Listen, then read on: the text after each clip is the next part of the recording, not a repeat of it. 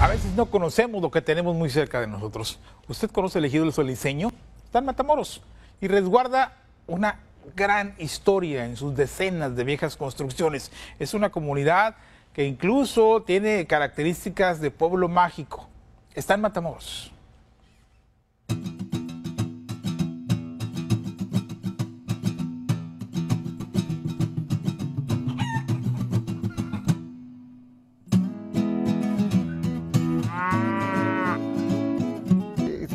Muchas historias que ellos vendían, venían de otras partes y los indios los andaban correteando porque tenían dinero y se vinieron para acá y aquí se quedaron y se mezclaban con los solices y hicieron las casas estas.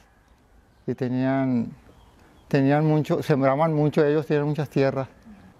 Este poblado, según lo que dicen las escrituras, se compró en diciembre de 1784 y lo compraron dos familias, este, José de Jesús Solís, o José Solís, y Juan José de Hinojosa, este, que ellos estaban emparentados.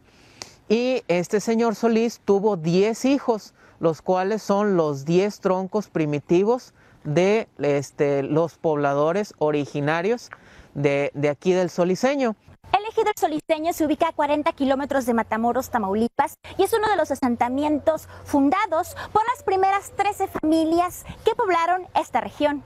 Aquí hay una casa en el Soliseño que fue construida el 20 de mayo de 1851 este, y que podría ser el, la casa más antigua del área rural de Matamoros y que competiría en antigüedad como por ejemplo con la casa alta del general Lojero, que es ahorita el Colegio San Juan siglo XXI, o la casa de Constantino de Tárnava, que está enseguida.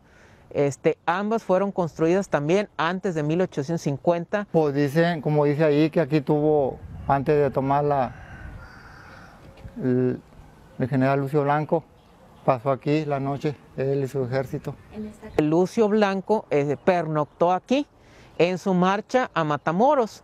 Él pasó por aquí porque, como eh, repito, es paso obligado a la ciudad de Matamoros.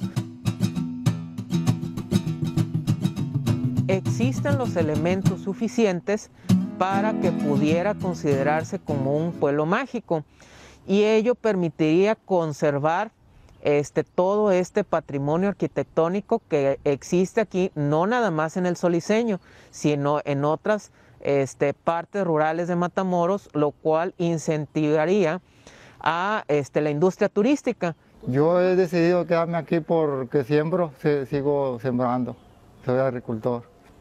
Quedan de mi papá las tierras, y, pero unas, un- son poquitas a comparación, como dicen que tenían ellos, tenían muchas tierras. Pienso que si me voy, la casa se va a acabar de destruir más. Porque la placa de arriba ya está destruida, yo la quité, le puse, tenía ladrillo y yo la quité y placa, el techo nomás.